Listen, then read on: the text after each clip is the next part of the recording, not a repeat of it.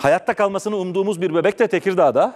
O da 2 yaşında. Sıla bebekten bahsediyorum. Hesabı kim verecek ana sorumuz. Çünkü 2 yaşındaki bir çocuğa 13-14 yaşında ve ailesinin de göz yumduğu bir şekilde 13-14 yaşındaki başka çocuklar tarafından ki iddia bu cinsel istismarda bulunduğu ve dövüldüğü iddia ediliyor.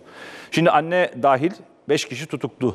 Dün onların ikisi geniş güvenlik önlemleri altında Tekirdağ'daki o olayın gerçekleştiği eve keşif için getirildiler. Hesabı kim verecek? Cinsel istismara uğrayan Sıla bebeğin hayati tehlikesi sürüyor. Zanlılardan ikisi olayın yaşandığı adrese götürüldü. Evde keşif yapıldı. Savcılık makamları tüm dijital verilere el koymuş durumda. Ee, Bunlar inceleniyor. Başkaca suç ve suç şüphesi oluşturacak ne varsa bunlarla ilgili de ek tahkikat yürütüleceğini soruşturma makamlarından e, edindiğimiz bilgiler olarak sizlerle paylaşıyoruz. Tekirdağ'ın Malkara ilçesinde cinsel istismara uğrayan ve ağır yaralanan 2 yaşındaki Sıla bebekle ilgili soruşturma sürüyor.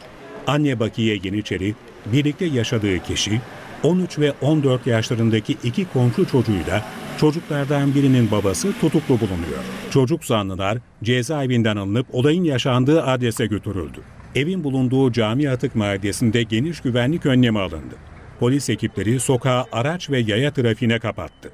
Daha sonra zanlılar içeri alındı. Onlarla birlikte yer gösterme ve keşif işlemi yapıldı. Bakiye Yeniçeri, kızı Sıla'yı ilk olarak 2 Ağustos'ta hastaneye götürdü. Vücudunda morluklar bulunan bebeğin komşunun evinde televizyon ünitesinden düştüğünü öne sürdü. Muayenesi yapılan bebek ailesine teslim edilerek evine gönderildi. Aile geçen hafta yeniden hastaneye başvurdu. Baygın haldeki Sıla'nın vücudunda çok sayıda darp izi vardı. Doktorlar polise haber verdi. Bebeğin cinsel istismara uğradığı ve beyin kanaması geçirdiği tespit edildi. Ameliyat edilen bebeğin durumu ciddiyetini koruyor. Ee, Başhekimimizle bir görüşme gerçekleştirerek sağlık durumu hakkında son bilgiyi de aldım. Çocuğumuzun e, sağlık durumu şu aşamada kötü stabil olarak devam ediyor.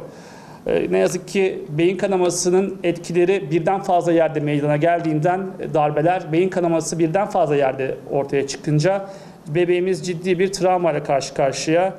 Dualarımız bebeğimizle. Entübe edilen bebek yoğun bakımda yaşam savaşı veriyor. Küçük kızın 5 yaşındaki kardeşi ise devlet korumasında.